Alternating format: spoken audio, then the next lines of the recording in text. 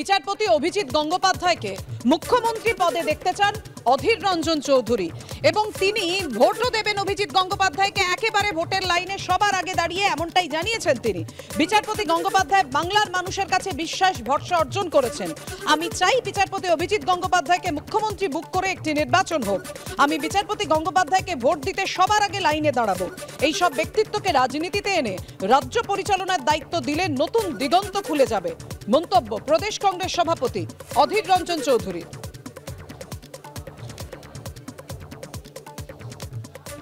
পশ্চিমবঙ্গের হাইকোর্টের বিচারপতি অভিজিৎ গঙ্গোপাধ্যায়, তিনি বাংলার মানুষের কাছে যে আস্থা, বিশ্বাস, ভরসা অর্জন করেছেন, আমরা চাইব আগামী দিনে এ বাংলায় বিচারক অভিজিৎ গঙ্গোপাধ্যায়কে মুখ্যমন্ত্রীর মুখ করে একটা নির্বাচন হোক, সে নির্বাচন যদি হয়, আমি কাই মনোবাক্যে এই মানুষটাকে ভোট দিতে সব থেকে আগে লাইনে দাঁড়াবো।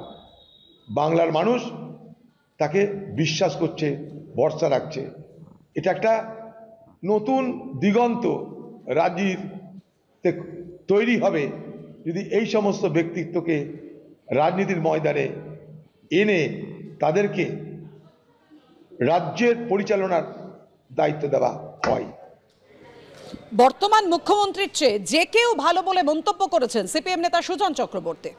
এ নিয়ে কোনো সন্দেহ নেই আমাদের রাজ্য যেভাবে চলছে এই মুখ্যমন্ত্রীর চাইতে এবং ওর যা বাহিনী আছে তার চাইতে অন্য যে কেউ ভালো। মনে করেছেন মনে করার আছে তিনি মনে করেছেন। এভাবে মমতা ব্যানার্জির বাহিনী চলছে মুখ্যমন্ত্রী এবং তার দলবল যেভাবে চলছে বিজেপিকে প্রশ্রয় দিয়ে যেভাবে চলছে এই ক্রিয়াটাকে যে কেউ যা চলছে তার চেয়ে ভালো হবে। বাংলাটা শেষ করার অপেক্ষায় আছে মমতা ব্যানার্জি এবং তার বাহিনী দিল্লিতে নরেন্দ্র মোদীর দোষর। বিচার ব্যবস্থাকে রাজনীতির ঊর্ধ্বে রাখুন। অধীর রঞ্জন চৌধুরীকে এমনই পরামর্শ দিলেন বিজেপি নেতা রাহুল সিনহা। হঠাৎ করে বিচার ব্য- ব্যবস্থাকে উনি রাজনীতির আঙিনা আনতে চেষ্টা করতে শুরু করলেন। যদি অভিজিৎ বাবু যদি আপনার রিটায়ার করে তখন অধীর চৌধুরী গিয়ে প্রস্তাব দিতে পারে।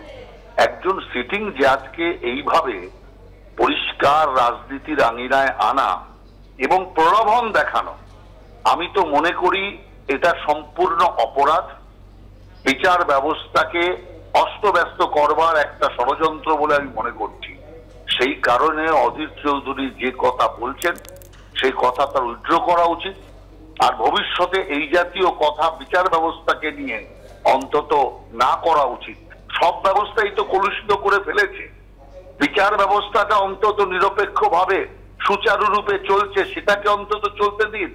সেখানে আর রাজনীতির ইঞ্জেকশন লাগাবেন না। এটাই আমার অধীর চৌধুরীর কাছে করজোর আবেদন। অতএব সেই কারণে বিচার ব্যবস্থাকে, বিচার ব্যবস্থার মতো মাথা উঁচু করে চলবার ব্যবস্থা রাখুন। রাজনীতির গন্ধ সেখানে আর লাগানোর দরকার।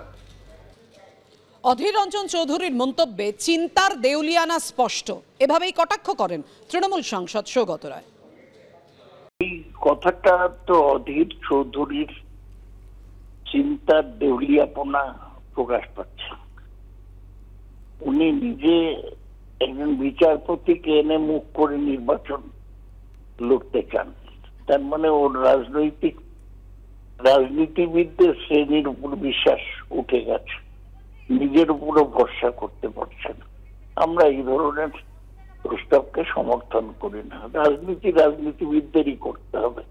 বাইরে থেকে লোক এনে করা যাবে না।